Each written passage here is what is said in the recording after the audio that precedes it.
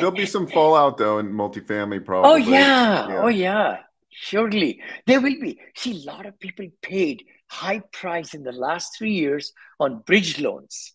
By the way, I just closed the deal this morning on my refinance. I want to give a good news. I went from 9% almost, 131,000 a month mortgage down to 52,000. Less go. than even that. 5.61.